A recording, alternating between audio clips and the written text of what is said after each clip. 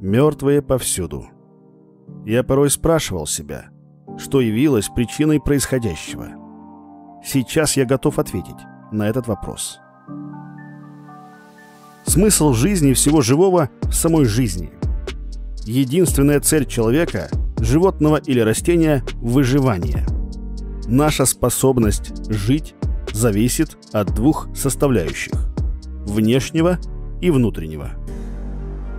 Внешний – это естественная природная среда и законы природы. Внутренний – это культура и рациональное мышление человека. Человечество все свое существование черпало знания у внешней среды, перенося в свою культуру необходимые для развития законы. Один из законов природы заключается в том, что законы нельзя нарушать. Рождение и смерть – это право живых существ, охраняемое природой. Право на жизнь человека – это право, охраняемое обществом. Первый – это внешний, естественный закон природы. Второй – это внутренний, закон человеческой культуры. Нарушив эти законы, общество уничтожило себя.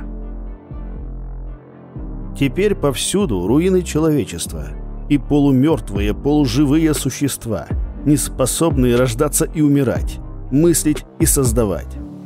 Я верю, что я не один.